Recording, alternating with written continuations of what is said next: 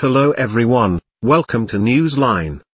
Modern fossil discovery rewrites human history story highlights the oldest modern human fossil outside of Africa was found in Israel. The findings suggests that modern humans migrated from Africa earlier than thought. Scientists have discovered the oldest known modern human fossil outside of Africa, estimated to be between 177,000 and 194,000 years old according to a new study in the journal Science.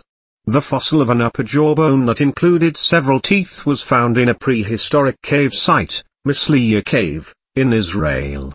Stone tools were also recovered at the site. This suggests that modern humans may have been on the move, specifically migrating from Africa, at least 50,000 years earlier than previously believed. It helps to explain previous findings of modern human fossils in other parts of the world, which have been dated 90,000 to 120,000 years ago. This rewrites the timeline of what we know about how Homo sapiens spread.